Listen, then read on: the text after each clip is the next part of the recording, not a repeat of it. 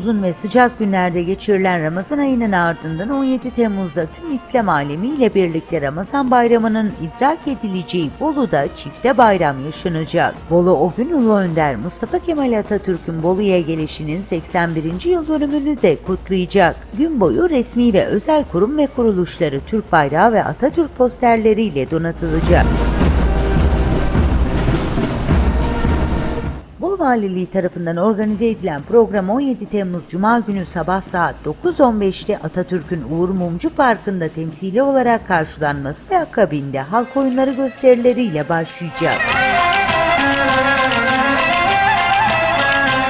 Program Uğur Mumcu Parkı'nda saat 9.30'da Atatürk'e saygı yürüyüşüyle devam edecek. Yürüyüş İzzet Baysal Caddesi boyunca Anıt Park'a kadar devam edecek.